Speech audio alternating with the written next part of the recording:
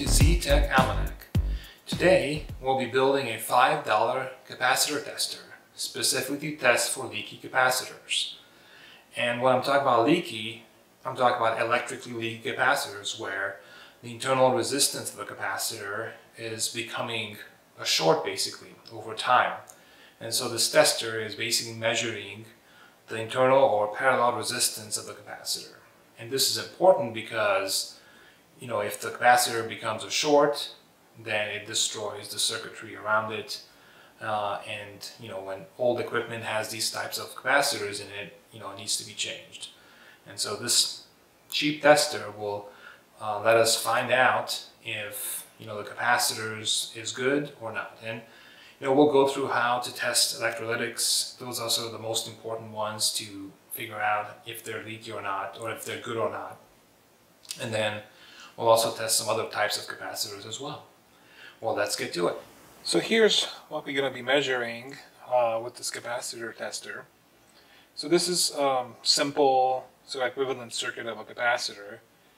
Um, think of it, these two leads as sort of the leads of the actual capacitor. So I want to put a capacitor here. You know, that will be connected to these two leads there. So there's two interesting resistors, I guess, to, to measuring the capacitor. There's also inductors that I left off here, but we have the equivalent series resistance, or ESR. We want this to be as low as possible, you know, close to zero ohms.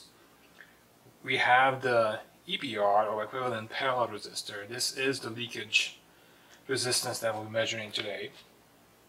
And of course we have the uh, ideal capacitance right here. So the EPR resistor, we want to be as high as possible. So we want that to be open so that you know there's no short across the capacitor. So when capacitors get older, due to just their construction, you know, this resistance here, the EPR, becomes lower and lower. And when I say lower, we're talking about, you know, from hundreds of megohms to maybe tens of megohms. Um, but, you know, some capacitors will go down to hundreds of kiloohms or even, hundred, you know, tens of kiloohms. And then they're really, really, you know, drawing a lot of current, uh, especially at high voltages through that resistance right there.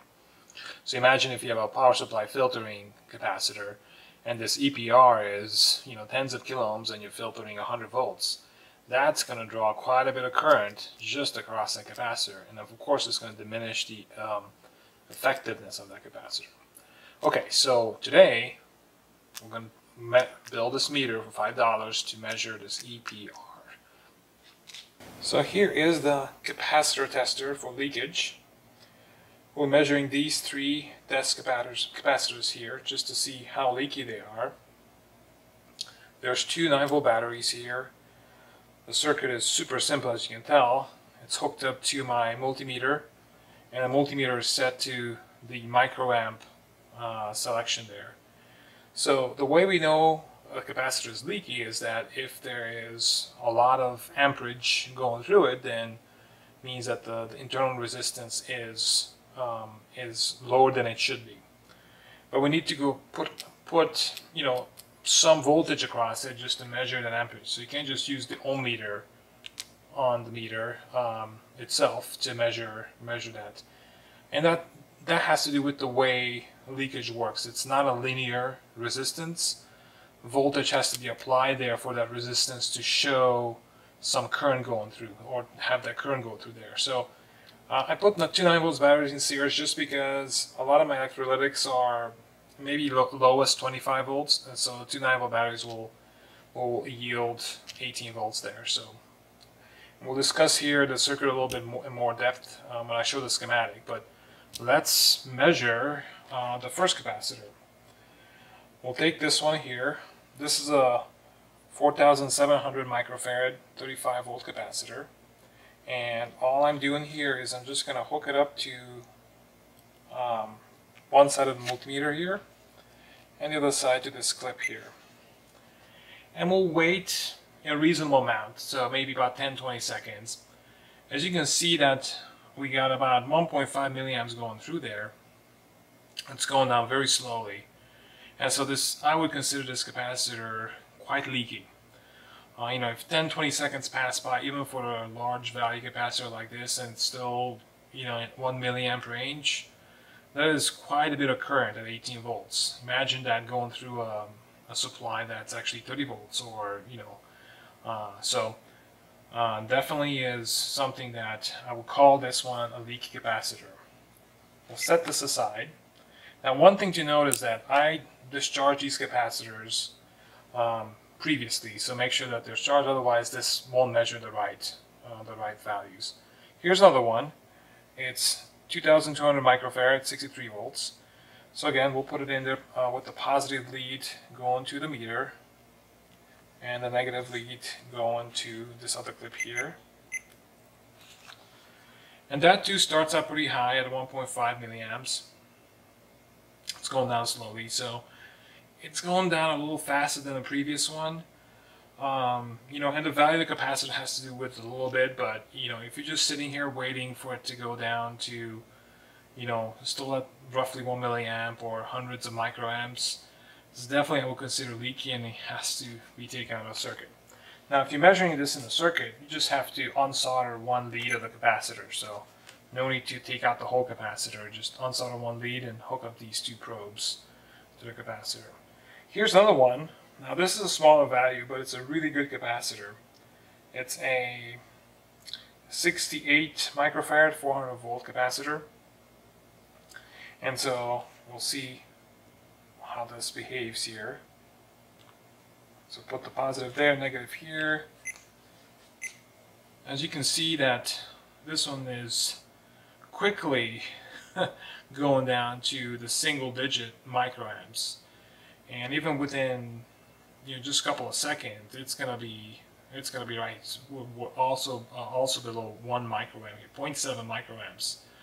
So this I would consider a very good capacitor, and you know it's not the value that it's 60 microfarads. The reason it's going down is just because it's a good capacitor. And I didn't have exactly the same values to show you. Okay, 1000 microfarad to 1000 microfarad leaky capacitors, but look at that. It's setting on a 0.4 microamps, 0.3 microamps. So this is a great capacitor, not leaky at all. Okay, so now let's um, look at some other capacitors as well and, and see how they, they behave. So electrolytics, uh, these are some examples for those, and let's look at some film capacitors. Here's the film capacitor. This is a really, really good capacitor. Um, it's an orange drop, and uh, this won't even won't even register really. Just looking at quickly at the multimeter there, it just it's just a bleep blip, and it goes straight back to zero microamps. So it's really really good capacitor. Uh, there's there's some older um, capacitors found in older receivers that will be leaky, but uh, some of these some of these newer capacitors will be really really good and you know, if you find these in, in circuits um, that don't need to be changed. Okay, so here's the $5 capacitor tester circuit. As you imagine, it's very simple. We have a 18 volt voltage source here, my two uh, 9 volt batteries. Um, we have a 10 kilo ohm resistor. I'll explain this in just a little bit. Why is that for?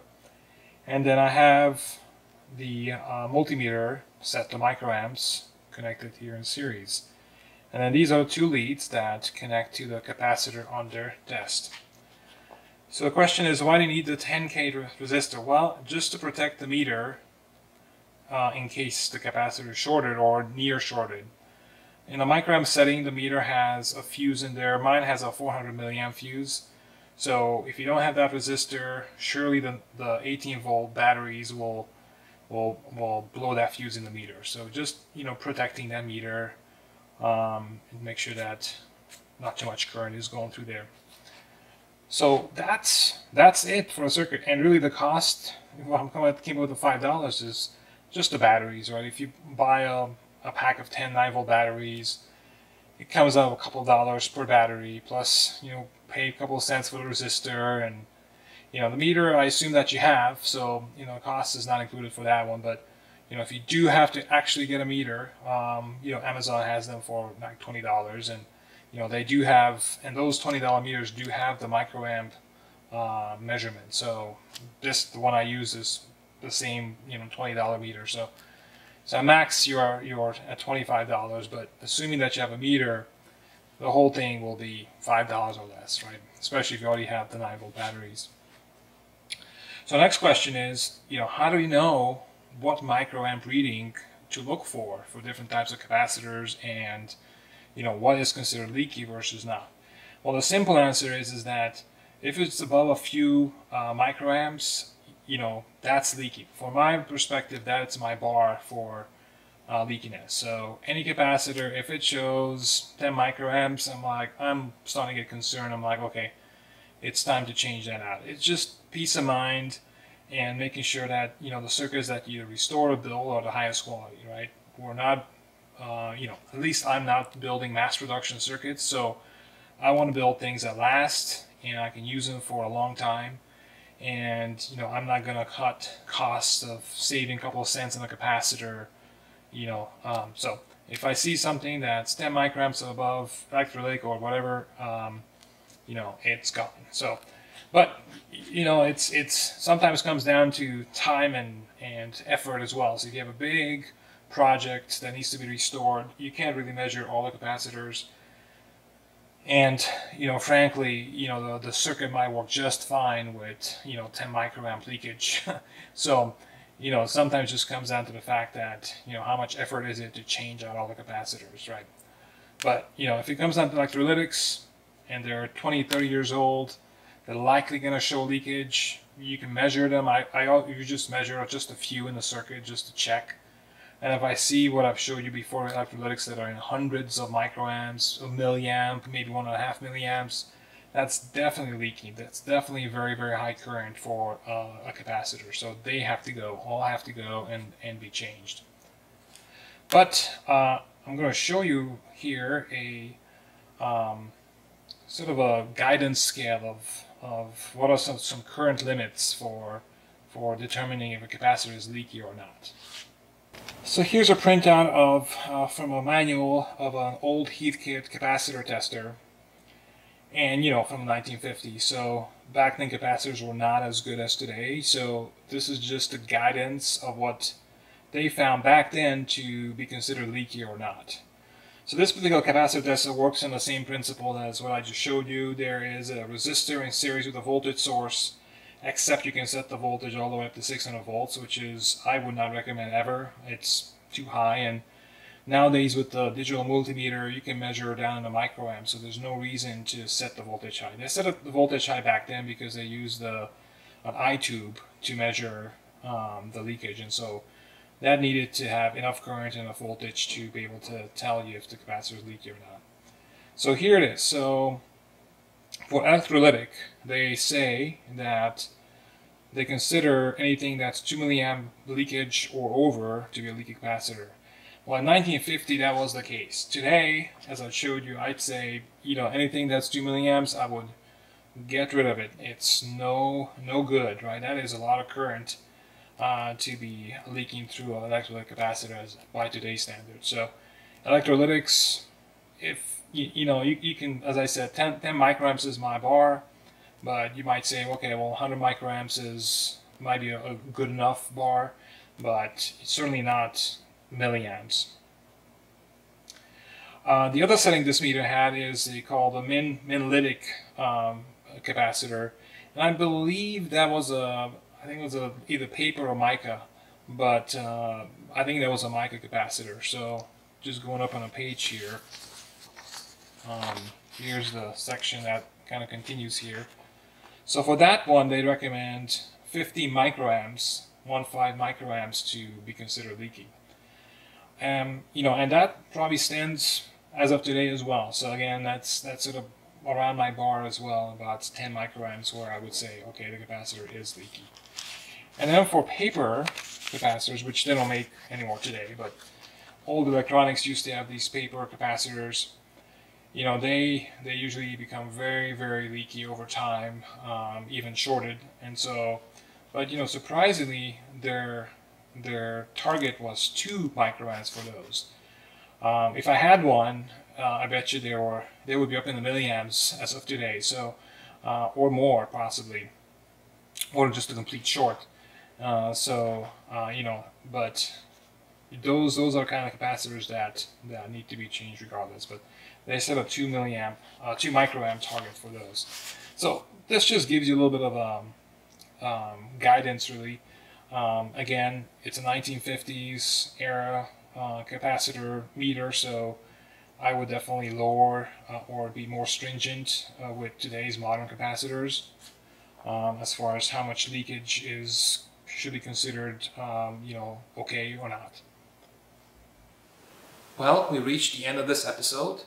Hope you enjoyed uh, building the $5 capacitor tester and hope that if you build it, um, you'll be able to use it to detect and figure out if uh, you're, when you're restoring equipment, your capacitors are have to be changed or not. And it's really useful. I use it all the time um, when you know I want to restore something or I get an old equipment, or even even if I just find a capacitor in the in the bin, and you know I don't really know how old it is, and so it's just best to test it just to make sure. And if if it shows any signs of leakage, I'll just throw it out. There's no reason to try to reform them or try to fix them in some other way. And you know, it's just a lot safer to get a new capacitor, have that peace of mind that uh, it will work uh, for several years, tens of years, hopefully, if you get a good one uh, in the equipment that you're building or restoring, and just avoid the risk of an old capacitor accidentally shorting and you know causing you know widespread damage in the in the equipment. Well, thanks for watching. We have lots of exciting and neat projects coming up in the future, and stick around.